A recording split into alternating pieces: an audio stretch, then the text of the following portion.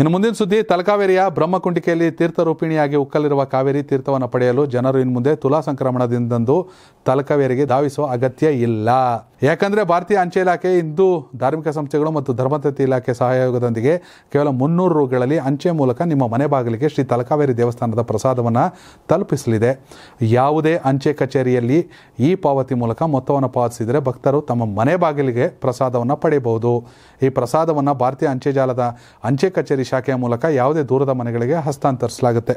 ಈ ಕುರಿತು ಅಂಚೆ ಕಚೇರಿಗಳ ದಾವಣಗೆರೆ ವಿಭಾಗದ ಅಧೀಕ್ಷಕರಾದಂಥ ಚಂದ್ರಶೇಖರ್ ಟಿಎನ್ಐಇ ಜೊತೆಗೆ ಮಾತನಾಡಿ ಇನ್ನು ಮುಂದಿನ ಸುದ್ದಿ, ತಲಕಾವೇರಿಯ ಬ್ರಹ್ಮಕುಂಡಿಕೆಯಲ್ಲಿ ತೀರ್ಥರೂಪಿಣಿಯಾಗಿ ಉಕ್ಕಲಿರುವ ಕಾವೇರಿ ತೀರ್ಥವನ್ನು ಪಡೆಯಲು ಜನರು ಇನ್ನು ಮುಂದೆ ತುಲಾ ಸಂಕ್ರಮಣದಿಂದಂದು ತಲಕಾವೇರಿಗೆ ಧಾವಿಸುವ ಅಗತ್ಯ ಇಲ್ಲ. ಯಾಕಂದ್ರೆ ಭಾರತೀಯ ಅಂಚೆ ಇಲಾಖೆ ಇಂದು ಧಾರ್ಮಿಕ ಸಂಸ್ಥೆಗಳು ಮತ್ತು ಧರ್ಮತತ್ವ ಇಲಾಖೆ ಸಹಯೋಗದೊಂದಿಗೆ ಕೇವಲ ಮುನ್ನೂರು ರೂಗಳಲ್ಲಿ ಅಂಚೆ ಮೂಲಕ ನಿಮ್ಮ ಮನೆ ಬಾಗಿಲಿಗೆ ಶ್ರೀ ತಲಕಾವೇರಿ ದೇವಸ್ಥಾನದ ಪ್ರಸಾದವನ್ನು ತಲುಪಿಸಲಿದೆ. ಯಾವುದೇ ಅಂಚೆ ಕಚೇರಿಯಲ್ಲಿ ಈ ಪಾವತಿ ಮೂಲಕ ಮೊತ್ತವನ್ನು ಪಾವತಿಸಿದರೆ ಭಕ್ತರು ತಮ್ಮ ಮನೆ ಬಾಗಿಲಿಗೆ ಪ್ರಸಾದವನ್ನು ಪಡೆಯಬಹುದು. ಈ ಪ್ರಸಾದವನ್ನು ಭಾರತೀಯ ಅಂಚೆ ಜಾಲದ ಅಂಚೆ ಕಚೇರಿ ಶಾಖೆಯ ಮೂಲಕ ಯಾವುದೇ ದೂರದ ಮನೆಗಳಿಗೆ ಹಸ್ತಾಂತರಿಸಲಾಗುತ್ತೆ.